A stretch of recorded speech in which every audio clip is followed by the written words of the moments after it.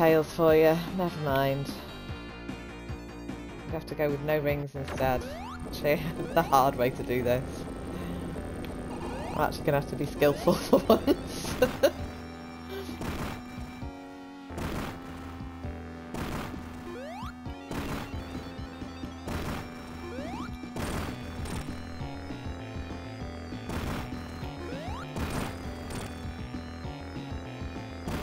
hard with no rings.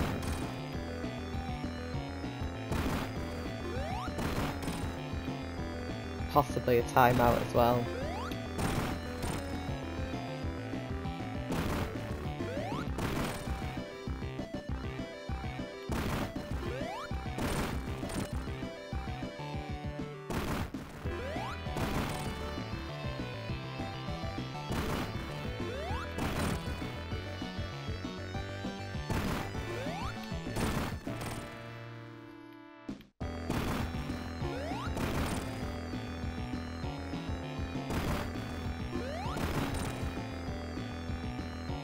Making a meal of this one even. This is the bit where it gets hard. This is where I'm likely to die. So, he spits a fireball off. You jump over the fireball, you hit his nose, you hit there.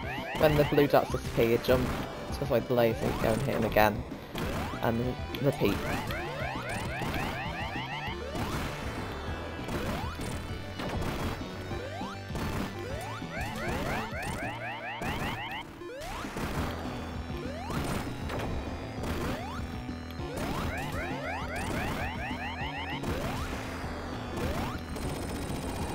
Oh my god, that was beautifully executed for once. I do have some skills, sometimes. Same rule with this one, stand directly underneath him when you hit him. I say this every time I play this, but I've been thrown off the edge too many times by not doing that. So jump when you're just past him.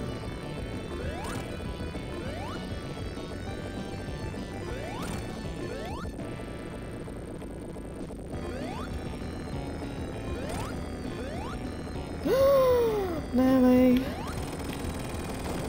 There we go. We've Got Knuckles' emerald back. And of course you'd go Doomsday if you were Sonic here. Not with Tails.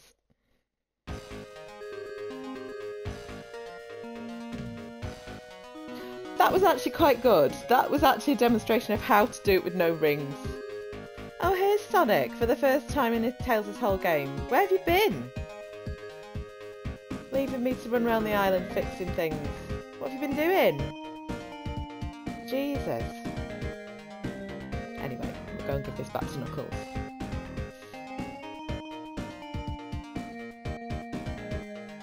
Been outsourcing your work, haven't you, Sonic? Like Tails outsourcing his work to the um, hyperactive flickies when you're Super Tails.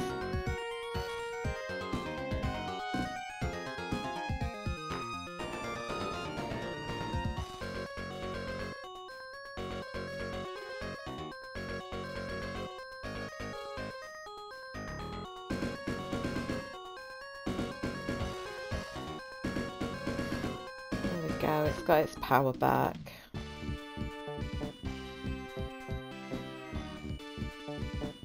There you go, you ungrateful sod. All that time beating us up throughout the game.